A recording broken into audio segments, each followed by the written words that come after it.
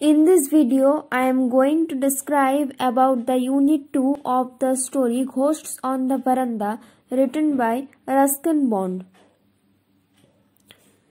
Unit 2 In an attempt to change the subject, একটা প্রচেষ্টায় বিষয়টাকে পরিবর্তন করতে কমল মেনসেন্ড কমল তুলে ধরেছিল বা উল্লেখিত করেছিল দ্যাট যে এ ফ্রেন্ড অফ হিজ তার একটা বন্ধু হ্যাড ফাউন্ড খুঁজে পেয়েছিল এ স্নেক একটা সাপ ইন হিজ বেড তার বিছানায় ওয়ান মর্নিং একদিন সকালবেলা। ডিড হি কিল ইট সে কি এটা হত্যা করেছিল? আক্সড অনিলস মাদার জিজ্ঞাসা করেছিল অনিলের মা অ্যাংসিয়াসলি জোরে।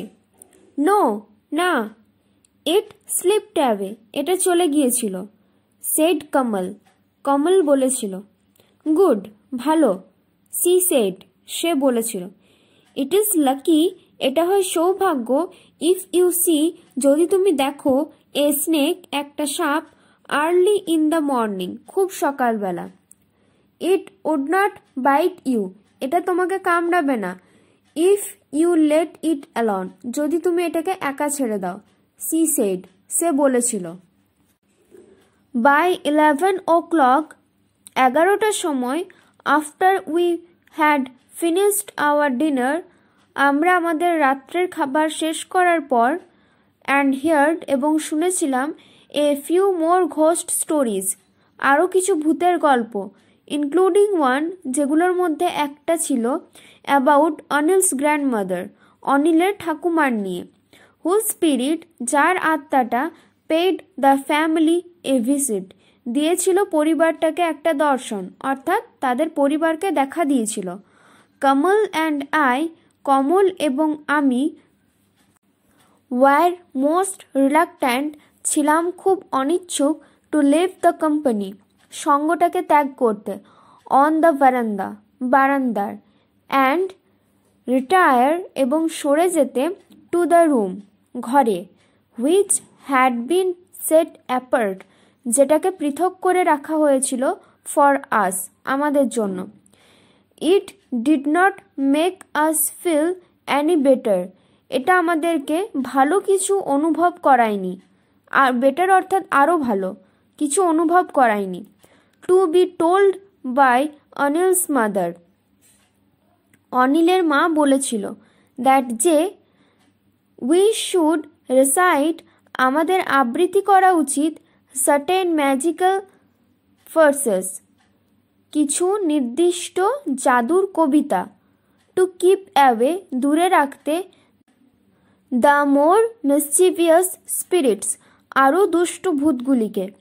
উই ট্রাইড ওয়ান আমরা একটা চেষ্টা করেছিলাম হুইচ ওয়েন্ট যেটা ছিল বা যেটা হয়েছিল, ভূত, প্রেত পিসাচ দানা ছুমন্তর সব নিকল জানা।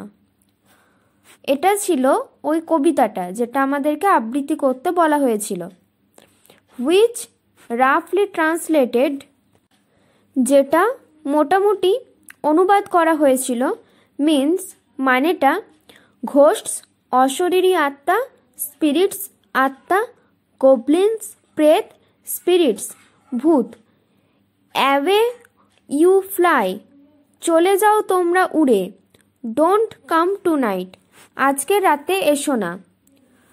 বাট কিন্তু দ্য মোর উই রিপিটেড যত আমরা পুনরাবৃত্তি করছিলাম দ্য ভার্স কবিতাটা দ্য মোর আনএজি আরও অস্থির উই বিকেম আমরা হচ্ছিলাম। অর্থাৎ আমরা যতই কবিতাটা বারবার বলছিলাম, তত আমরা আরও অস্থির অনুভব করছিলাম। অ্যান্ড এবং when I got into bed যখন আমি বিছানায় গিয়েছিলাম after carefully examine it for snake খুব ভালোভাবে পরীক্ষা করে কোনো সাপ আছে কি না I could not lie still আমি ঠিকঠাকভাবে শুয়ে থাকতে পারিনি বাট কেপ্ট টুইস্টিং মোচড় দিচ্ছিলাম অ্যান্ড টার্নিং অ্যান্ড লুকিং এবং ঘুরছিলাম এবং দেখছিলাম। অ্যাট দ্য ওয়ালস দেওয়ালগুলিতে ফর মুভিং শ্যাডোজ ঘোরাঘুরি করছে বা নড়াচড়া করছে এই রকম ছাওয়াগুলিকে। কমল অ্যাটেম্পটেড কমল চেষ্টা করেছিল টু রেইজ বাড়িয়ে দিতে। আওয়ার স্পিরিটস আমাদের সাহসটা বাই সিঙ্গিং সফটলি ধীরে ধীরে গান করে। বাট কিন্তু this only made the atmosphere এটা শুধুমাত্র তৈরি করছিল আবহাওয়াটাকে, এখানে অ্যাটমসফিয়ার অর্থাৎ ওই সময়ের পরিবেশটা, অর্থাৎ ওই ওরা যে একসাথে সবাই ছিল, ওইখানে ভয়ের যে পরিবেশটা তৈরি হয়েছিল, সেটা এখানে অ্যাটমসফিয়ার বলা হয়েছে।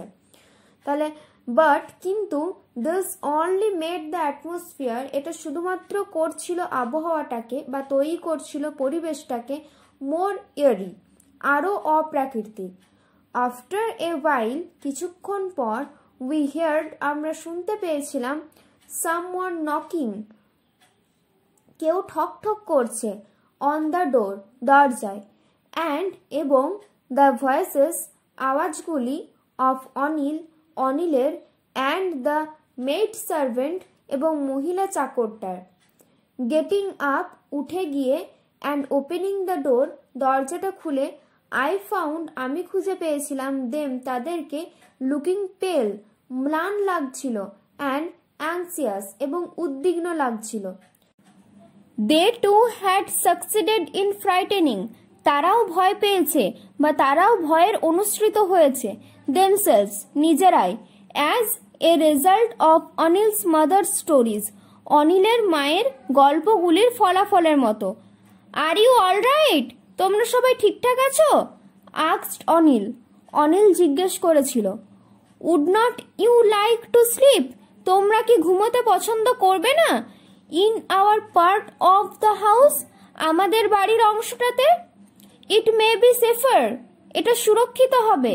Mulia will help us Mulia আমাদেরকে সাহায্য করবে to carry the beds across বিছানাগুলোকে বয়ে নিয়ে যেতে। We were quite all right আমরা ঠিকঠাক আছি। Protested Kamal and I Kamal এবং আমি প্রতিবাদ করে বলেছিলাম। রিফিউজিং টু অ্যাডমিট যোগদানটা প্রত্যাখ্যান করতে, এখানে রিফিউজ মানে প্রত্যাখ্যান করা। আর অ্যাডমিট মানে অ্যাকচুয়াল ভর্তি। অর্থাৎ এখানে তারা ওদের বাড়িতে, অর্থাৎ ওরা যে রুমটাতে থাকতে বলছিল বা যে ঘরটাতে, সেখানে যেতে বাধা দিচ্ছিল নিজেদেরকে। তারা যেতে চায়নি। ওইটাই তারা রিফিউজ করছিল। বা প্রত্যাখ্যান করছিল। উই ওয়ার নার্ভাস আমরা ছিলাম ভয় কাতুরে। বাট কিন্তু উই ওয়ার হাসল্ড আমরা তাড়াহুড়ো করে গিয়েছিলাম। অ্যালোন একা টু দ্য আদার সাইড অন্য দিকটাতে অফ দ্য ফ্ল্যাট ফ্ল্যাটটার বা বাড়িটার। অ্যাজ দো যেন এ ব্যান্ড অফ ঘোস্টস একটা ভূতের দল ওয়াজ কনস্পিরিং এগেনস্ট আস আমাদের বিরুদ্ধে ষড়যন্ত্র করছিল বা চক্রান্ত করছিল। Anil's mother had been absent অনিলের মা অনুপস্থিত ছিল ডিউরিং অল দিস অ্যাক্টিভিটি এই কার্যকলাপগুলো বা এই কার্যকর্ম কাজকর্মগুলো চলাকালীন। বাট সাডেনলি কিন্তু হঠাৎ করে উই হেয়ার্ড আমরা শুনতে পেয়েছিলাম হার স্ক্রিমিং তার চিৎকার। ফ্রম দ্য ডিরেকশন ওই দিকটা থেকে অফ দ্য রুম ঘরটার। উই হ্যাড জাস্ট লিফট আমরা সবেমাত্র ত্যাগ করেছি বা বেরিয়ে এসেছি। Rusty and Kamal have disappeared Rusty এবং কমল হয় অদৃশ্য। সি ক্রাইড সে চিৎকার করেছিল। Their beds have gone too তাদের বিছানাগুলিও নেই।